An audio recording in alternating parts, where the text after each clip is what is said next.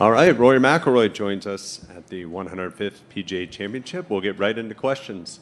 Alex? Yeah, Rory, can you just kind of assess not only the week, but your day and experience with Michael Block?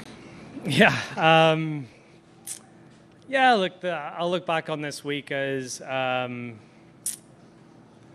proud of how I hung in there and, and I guess my attitude and, and sticking to it, not having my best stuff, but um, probably not a ton of memorable golf shots hit. Um, uh, the, my playing partner today hit a couple of memorable golf shots, so um, yeah, it was you know the atmosphere out there playing with Michael was um, was unbelievable. He you know we both got amazing support, but you know he got unbelievable support, understandably so, being um, you know in, in this position as a club pro and, and playing so well and you know competing into the into the latter stages of a major championship. It was it was really impressive and. Um, you know, it was nice to go out there and, and, and share the course with him for 18 holes.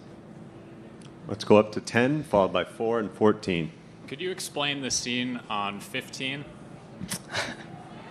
um, I mean, it was an amazing golf shot. I mean, that I, you know, that hole sort of given me fits all week. I, I haven't really liked the look out look of it. And then, you know, Michael stands up and hits this lovely little draw back into it, into off the left wind, and um, you know, ball goes straight in the hole. It was, I guess, sort of when it's when it's your week, it's your week in a way. And um, you know, I think with with the way the weeks went for him, it was a, a fitting way to to cap off um, to cap off his PGA Championship. And you've you've talked a little bit about how you've changed your mindset this week. I'm just wondering, what specifically did you think was different?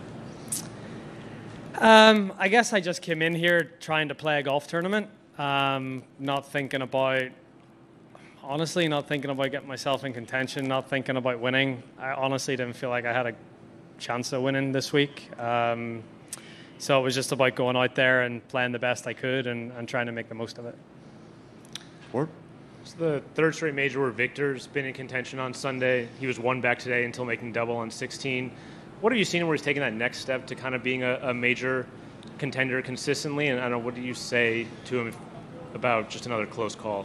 Yeah, um, I mean, he's putting himself in position, right? I mean, Jack Nicklaus won 18 majors, but he finished second 19 times. So it's all about putting yourself in position and getting, giving yourself chances. And the more chances you give yourself, the more um, probability is, is you you know one's gonna is gonna fall your way. And um, you know Viktor keeps keeps doing the same things and, and, and keeps working hard. I mean, I've seen the last couple of nights he's been the last one here and working on his game. So he keeps doing that sort of stuff. It'll, you know, one will, one will fall into his lap.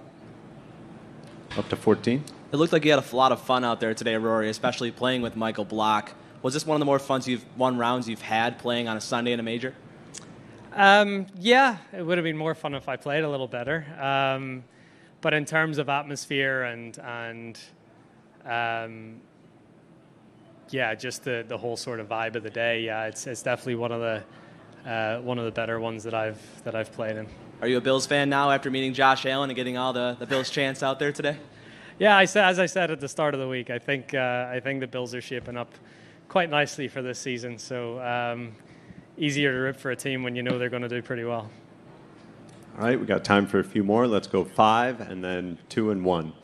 Uh, Rory, knowing, knowing you were struggling with your game coming into this week, how do you value or assess your tournament?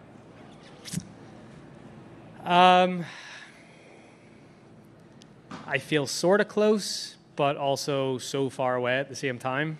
It's hard to explain. Um, I feel like sometimes it was the worst I could have played, but then at the same time, it's like the best I could have done. It's it's a weird. I I'm sort of. I'm just. It just doesn't feel quite where it needs to be, and again, just need to go back to back home and work on some stuff, and um, I guess just just try to figure it out. So it's. Um, you know, like a week like this, there's there's some good parts and, and some bad parts, and it's just trying to sort of pick all those pieces out and, and um, you know, obviously see what you can do better and, and, and sort of just move on from there. What do you learn from a week like this?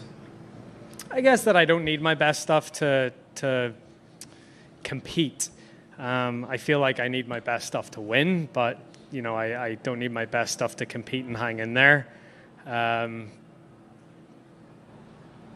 but yeah, I just, I mean, I just, I, I need to be better. We'll finish up with Juan.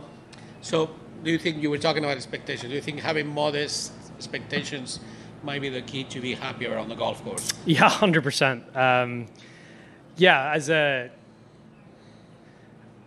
yeah, I was I was more accepting of things out there, um, and I think it's hard. Like the previous major championship at Augusta, all I think about is you know winning, winning, winning, winning to try to win that green jacket, and um,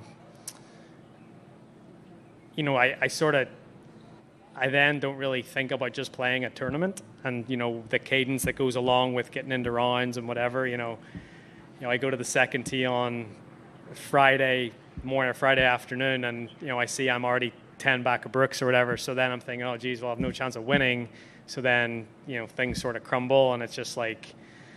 Um, you know, being a bit mentally fragile because you're so focused on the one thing you're trying to do when in essence, you just need to play a golf tournament and see where the chips fall at the end of the week.